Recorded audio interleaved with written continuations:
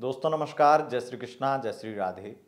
दोस्तों, आज हम बात करेंगे एक मार्च से लेकर के पंद्रह मार्च तक की no contact situation current feeling. आपके एक्स पार्टनर की, यानी कि आपके पार्टनर के साथ में अगर आप नो कांटेक्ट में हैं तो उनकी, यानी कि आपके पार्टनर की वर्तमान की भावनाएँ क्या हैं? वो आपके बारे में क्या सोच रहे हैं? उनके विचार आपके लिए क्या बदल रहे हैं? एक से पंद्रह मार्च, हम जानेंगे कि आपके पार्टनर, आपके एक्स पार्टनर आपके लिए क्या सोच रहे हैं, उनकी करंट फीलिंग ये वीडियो थोड़ी सी लेट हो गई है, ये स्पेशल लव रीडिंग होती है और आप सबको ये वीडियो बहुत ज़्यादा पसंद आती है। क्योंकि जब आप नो कॉन्टैक्ट में होते हैं, तब आपको केवल और केवल ज्योतिष एस्ट्रोलॉजी ही बता सकती है कि आपके पार्टनर आपके बारे में क्या सोच रहे हैं। क्या नेगेटिव सोच रहे हैं, क्या पॉजिटिव सोच रहे हैं, क्या उनके आने की उम्मीद है भी या नहीं? क्या आपको वेट करना चाहिए? क्या उनके लिए रुकना चाहिए या मूव ऑन कर जाना चाहिए? ये बहुत सारे सवाल आपके मन में होते हैं और इन्हीं सवालों के जवाब आपको ये रीडिंग देने की कोशिश करती है। आइए आपको बताएँगे कि आपके वर्तमान में एक्स पार्टनर जो हैं, वर्तमान की भावनाएँ क्या हैं, वर्तमान में क्या सोच रहे हैं? एक मार्च से पंद्रह मार्च। सबसे पहले वो नए दर्शक जो हमारी वीडियो को पहली बार देखने आए हैं, उनकी जानकारी के लिए बता दें। हमारी ये स्पेशल लव रीडिंग केवल महीने में दो बार मिलती है पंद्रह पंद्रह दिन की। और डे वाइज आपको हम बताते हैं कि आपको डेट वाइज आपको बताते हैं कि आपके पार्टनर आपके लिए क्या सोच रहे हैं। एक्स पार्टनर नो कॉन्टैक्ट में या फिर वो अलग एक और वीडियो आती है करंट फीलिंग की। उसमें आपको उन लोगों को देखना होता है जो वर्तमान में कॉन्टैक्ट में हैं। लेकिन जहाँ नो कॉन्टैक्ट शब्द लग गया, वहाँ पर आपको, अगर आप नो कांटेक्ट में हैं, यानी किसी भी तरीके से आपकी बातचीत नहीं हो पा रही है, तब आपको ये वीडियो देखनी चाहिए। दूसरी बात, ये आपके पार्टनर की राशि के अनुसार है। आपके पार्टनर का मून साइन चंद्र राशि के अनुसार है। अगर आपको उनका चंद्र राशि यानी मून साइन पता नहीं है, तब आप इसे नाम राशि के अनुसार भी देख व सुन सकते हैं। लेकिन इसे सनसाइन के अनुसार नहीं देखना है, क्योंकि न तो ये टैरो कार्ड है और ना ही ये वेस्टर्न एस्ट्रोलॉजी है। ये वैदिक एस्ट्रोलॉजी के आधार पर हम रीडिंग बनाते हैं और ग्रहों की स्थितियाँ देखते हुए ये रीडिंग आपके लिए प्रस्तुत करते हैं। तो आइए जानते हैं कि आपके पार्टनर यानी कि आपके एक्स पार्टनर नो कॉन्टैक्ट में होकर के आपके लिए क्या फील कर रहे हैं, क्या सोच रहे हैं। सबसे पहले बात करेंगे राशियों के क्रम में। सबसे पहली राशि, मेष राशि का अगर आपका पार्टनर था तो आपके बारे में वो क्या फील कर रहा है, क्या सोच रहा है? सबसे ज़्यादा वर्तमान में जो मेष राशि के पार्टनर आपके थे, जो भी मेष राशि का पार्टनर होगा, वो निश्चित रूप से वर्तमान में बहुत ज़्यादा परेशान होगा। बहुत ज़्यादा उसे चिड़चिड़ापन, तनाव वाली स्थिति कहीं ना कहीं उसकी बन रही है। उसे कहीं ना कहीं आपकी याद भी आ रही है, लेकिन उससे प्रॉब्लम ये है कि वो आपको इतना बुरी तरीके से छोड़कर गया है या उस तरीके से उसने व्यवहार किया है कि वो आपके पास वापस आए तो किस मुँह से आए, ये सोचने पे मजबूर है। यहाँ पर स्थिति ये भी है कि वर्तमान में वो आपके बहुत सारी पॉजिटिव बातें सोच रहा है, बहुत ज़्यादा आपके बारे में अच्छा सोच रहा है। हालाँकि खुद बहुत परेशान है, लेकिन परेशान क्यों है? क्योंकि जिसकी वजह से आपको छोड़ा था, उस व्यक्ति ने परेशान उन्हें कर लिया है। इस वजह से आपके बारे में सोचने पर मजबूर बार बार हो रहे हैं कि इससे अच्छी तो वो थी। या इससे अच्छा तो वो था। ये कहीं ना कहीं उनके मन में आपके लिए पॉजिटिव फीलिंग है। तो वो कांटेक्ट में तो आना चाहते हैं, लेकिन वो आपके, अगर खुद से वापस आएँगे तो अपना ईगो किसे दिखाएँगे? ये भी है। दूसरी बात, गलती इतनी बड़ी की है तो आप उसे माफ़ भले ही कर दें, लेकिन वो कहीं ना कहीं अपनी नज़रों में अपने आप को बहुत ज़्यादा गिरा हुआ समझेगा। तो इसलिए स्थिति ऐसी बनी हुई है कि आपके पास वापस नहीं आना चाहते हैं, नहीं आ पाएँगे। आना तो चाहते हैं, लेकिन नहीं आ पाएँगे। अगर आप खुद से प्रयत्नशील हैं, खुद से प्रयास करते हैं, खुद से बात करते हैं, और आपकी भी मान लीजिए मेष राशि ही, और आप ऐसा करते हैं तो बहुत बेस्ट है, क्योंकि दोनों तरफ़ से प्रयास बराबर होगा तो सफलता की स्थिति बन जाएगी। लेकिन यहाँ पर स्थिति ये है कि उनकी तरफ़ से प्रयास जो है, वो नहीं करेंगे, आपको खुद ही प्रयास करना पड़ेगा। एक यहाँ पर स्थिति 8 मार्च से 15 मार्च के बीच में ये भी बनेगी कि आपका जो एक्स पार्टनर है, वो कुछ तो आपको गुस्से में ऐसा बोलेगा, जिससे आप तिल मिला करके और झगड़े कर लें और गलत फहमियाँ बन जाएँ आपके बीच में। ऐसा कुछ बोल सकता है। ऐसा कुछ बोल सकता है कि आप बहुत ज़्यादा उस चीज़ को लेकर सोचने पे मजबूर हो जाएँ और आप झगड़े करने के लिए मजबूर हो जाएँ। और वो झगड़ा भी इसलिए करना चाहेगा क्योंकि उसे कम से कम बातचीत करने का एक बहाना तो मिल जाएगा। तो ये स्थिति है। अब बात कर लेते हैं वृषभ राशि का, अगर आपका पार्टनर था तो आपके बारे में क्या सोचता है? वृषभ राशि का अगर आपका पार्टनर था तो आपके लिए बहुत ही ज़्यादा उसके मन में चिड़चिड़ापन नेगेटिविटी आ चुकी है। वो आपको इस तरीके से सोच रहा है आपके बारे में कि बहुत ज़्यादा आपके बारे में नेगेटिव कि आप जो है पैसे के लिए या किसी फ़ायदे के लिए उसके साथ में थे। इस तरीके के विचार उसके मन में आ गए। दूसरी बात है आपने वर्तमान में कुछ ऐसी बातें बोल दी हों, जिस वजह से वो ये सोचने पे मजबूर हो गया हो कि ये व्यक्ति हमें धोखा दे सकता है, चीट कर सकता है। इस तरीके के ख्याल उनके मन में आने लगे हैं। और इसी वजह से वो ये सोच रहे हैं, कोई व्यक्ति मुझे धोखा दे, इससे पहले मैं ही उसे छोड़ दूँ। कोई मुझे छोड़े, उससे पहले मैं ही उसे छोड़ दूँ। ये कहीं ना कहीं उनके मन में ख्याल चल रहे हैं। अब वृषभ राशि की एक प्रॉब्लम ये है कि वो नो कांटेक्ट में इसलिए भी गए हैं कि उन्हें जब तक आप बहुत केयर करें, बहुत प्यार दें, वो सब कुछ ठीक है। लेकिन एक छोटी सी गलती, सबसे बड़ी वृषभ राशि की ये मुझे एक तरह से प्रॉब्लम नज़र आती है कि वो एक आपने सौ अच्छाई कर दी, लेकिन एक बुराई आपने अगर कर दी तो वो एक बुराई को लेकर के ही आपको ब्लॉक कर दे, आपकी लाइफ से चला जाए या पता नहीं क्या क्या कर ले, ये तो उसकी सनक सवार हो जाती है एक तरह से। तो इसलिए आपको ये प्रॉब्लम फेस करनी पड़ सकती हैं। या करनी पड़ रही होंगी। लेकिन कांटेक्ट में आने की इच्छा बिल्कुल भी इस तरीके की नहीं है कि आ ही जाएँ, लेकिन इतना ज़रूर है कन्फ्यूज़न है। और वो कन्फ्यूज़न इसलिए है क्योंकि आप कभी कहते हैं कि शादी करेंगे, कभी कहते हैं नहीं करेंगे, या कभी कोई प्रॉमिस करते हैं और कभी उससे आप पूरी तरह से मना कर देते हैं उस प्रॉमिस को निभाने से। इसलिए ऐसी चीज़ें हो रही हैं, लेकिन कांटेक्ट में आप ज़रूर आ जाएँगे, ऐसी उम्मीद बहुत प्रबल है। लेकिन एक गलती यहाँ पर आपके पार्टनर भी कर रहे हैं, कहीं ना कहीं मूव ऑन करने की, किसी दूसरे व्यक्ति का हाथ थामने की कोशिश में लगे हैं। तो ऐसी कोई गलती उनसे अगर हो गई तो आपके साथ में फिर दिक्कत हो जाएगी।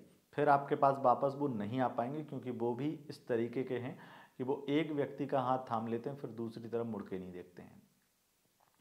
अब बात कर लेते हैं, मिथुन राशि का अगर आपका पार्टनर था तो किस तरीके की फीलिंग उसके मन में चल रही है? बहुत ज़्यादा गलत फहमियाँ बनी हैं आप दोनों के बीच में और गलत फहमियों के कारण ही आप दोनों की स्थिति खराब हुई है। वर्तमान में बहुत ज़्यादा आपके बारे में गलत ख्याल उनके मन में आ रहे हैं, लेकिन ये जो चीज़ें बनी हैं वो थर्ड पार्टी की वजह से बनी हैं और किसी थर्ड पार्टी की प्रॉब्लम यहाँ पे दिखाई पड़ती है। अब आपके पास में एक रास्ता तो ये है कि आप खुद से उनसे बात करें और उन्हें वापस लाएँ, समझाएँ। और दूसरा ये है कि उनकी बातें सुने और उन्हें बर्दाश्त करें। क्योंकि वो वापस तो आना चाहते हैं और वापस आ भी जाएँगे, लेकिन प्रॉब्लम ये है कि आपको उनकी बहुत सारी बकवास सुननी पड़ेगी, जो शायद बाहियात होगी। तो इसलिए ये चीज़ें कहीं ना कहीं बनने वाली हैं। नो कांटेक्ट में उनकी जो फीलिंग्स हैं आपको लेकर के वो बहुत नेगेटिव हो गई हैं। ठीक है? ये स्थिति है। अब बात कर लेते हैं कर्क राशि का अगर आपका पार्टनर था तो उसके विचार आपके लिए क्या हैं? अगर कर्क राशि का पार्टनर था, आपके लिए बहुत इमोशनल है, आपके लिए बहुत ज़्यादा आपको प्यार करता है, बहुत ज़्यादा केयर करता है, लेकिन वो नो कांटेक्ट में क्यों गया है? क्योंकि आपने कुछ ऐसी बात बोल दी जिससे वो हर्ट हो गया है। यहाँ पर बहुत अधिक संभावना है कि आप लोगों का बहुत जल्दी पैचअप हो जाएगा, बहुत जल्दी आप दोनों की बातचीत हो जाएगी। खास करके पाँच मार्च के बाद में स्थिति ऐसी बन सकती है। अब बात कर लेते हैं सिंह राशि का, अगर आपका पार्टनर था तो उसके विचार आपके लिए क्या है? अगर सिंह राशि का पार्टनर था तो वो आपके पास कतई वापस नहीं आना चाहता है, क्योंकि उसे तो बहुत समय से बस ये चाहिए था कि कैसे भी आपकी लाइफ से निकल जाए। वो बार बार इस बात को दोहराता था कि मुझे तुम्हारी लाइफ से बस निकलना है, कैसे भी आप तुमसे छुटकारा पाना है। और वही चीज़ उसने की, उसे मिल गया छुटकारा। आपका बढ़ गया प्यार। जब आप उसे लात मारते थे, तब तो वो आपके पास ही वापस आता था बार बार लेकिन आप प्यार कर रहे हैं तो आपसे दूर जा रहा है। और यही चीज़ है कि आपका सिंह राशि का पार्टनर है तो वो वापस नहीं आना चाहता। अब आप ही उसके पीछे पड़े रहेंगे, तकलीफ़ में रहेंगे। और यहाँ पे सबसे बड़ा आपको डिसीज़न लेना है कि आप उस चीज़ से कैसे निकल पाएँ, क्योंकि वो तो निकल चुका है। अब आपकी बारी है। आप अगर निकल पाएँगे तो ठीक है, नहीं तो यहाँ पर स्थिति ये है कि आप वो प्यार और वो केयर अपना बर्बाद कर रहे हैं, क्योंकि उसे कोई भी ज़रूरत नहीं उस प्यार की, उस आपके इमोशंस की। ये स्थिति है। अब बात कर लेते हैं, अगर आपका पार्टनर कन्या राशि का था तो उसकी फीलिंग्स क्या हैं? अगर कन्या राशि का पार्टनर था तो वो आपकी लाइफ में वापस आ सकता है, क्योंकि उसके मन में आपको लेकर बहुत इमोशंस है, बहुत फीलिंग्स हैं। लेकिन फैमिली वाले कहीं और शादी करना चाहते हैं, शादी करवाना चाहते हैं और कहीं शादी की बातें भी चल रही हैं, इस वजह से कुछ प्रॉब्लम हो रही हैं। और आप उसे नहीं समझ पा रहे हैं, उसकी दुविधा को, उसकी प्रॉब्लम को आप बहुत ज़्यादा अलग ही नज़र से देख रहे हैं और आपकी बातचीत का तरीका बड़ा कठोर है और इन चीज़ों से उसे लगता है कि आपसे फिर तो हट जाना, दूर जाना ही सही है। क्योंकि आप उसे सपोर्ट करने की जगह आप उसे क्रिटिसाइज़ कर रहे हैं, ये प्रॉब्लम है।